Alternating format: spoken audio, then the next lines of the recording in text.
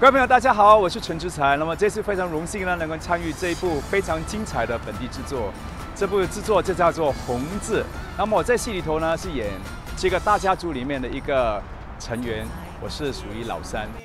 但是我相信，如果我没有这个命，就算你怎么推，也没有用的。那么老三基本上呢是一个非常成功的一个生意人。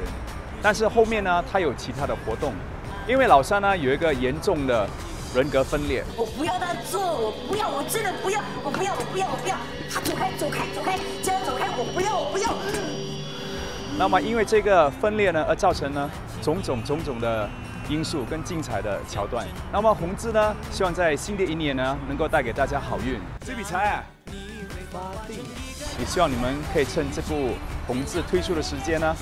发一个大财，那么身体健康。